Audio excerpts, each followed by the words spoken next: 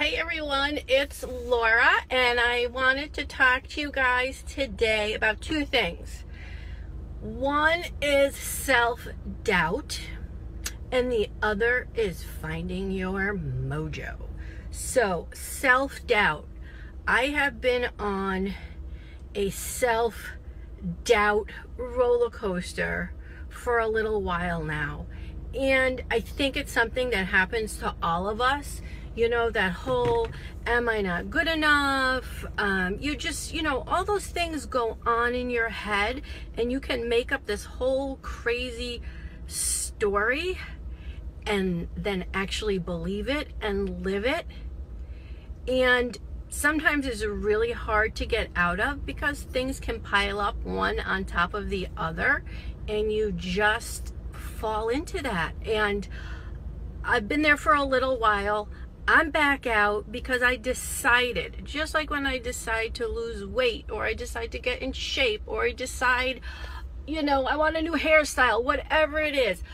You know what? You guys, you can change in an instant, but you have to realize that you're there. Does that make sense? Sometimes we don't even realize that we've fallen into that kind of abyss, that place that is not serving us. That's called, if you're a woman, sometimes we call it slave girl. You've fallen into your slave girl and you need to come back up and you need to be in your highest power, in your goddess power, because that's where your gifts and your true purpose are in this world.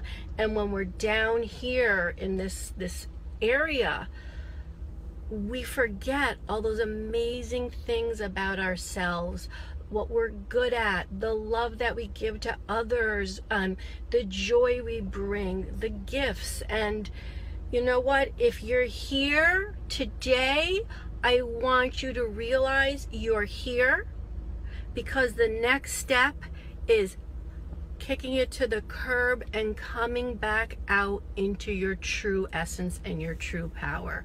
So I hope I know you're going to be with me. Come with me on this journey. You know, it's never ending and we're always learning about ourselves. So, self doubt. And the other one kind of ties into this is like losing your mojo. Have you lost that mojo because you're in that space? Well, you know what? Let's do this together. This is why we have this group. This is what we're all here for. This is why I'm here. This is what I do. And I want you guys to use this group as a a sounding board, a sharing board, uh, stepping into your power kind of place. Um, think of it as a sacred space Ooh, I think I'm gonna go find a sacred space timeline banner today. All right, so that's my message.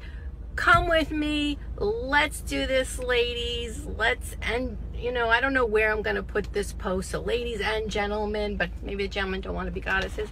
Um, but yeah, so that's it. I am going to get myself a wheatgrass shot because it is, it feels so good to be good to yourself. So let me know what you're going to do to be good to yourself today. Okay?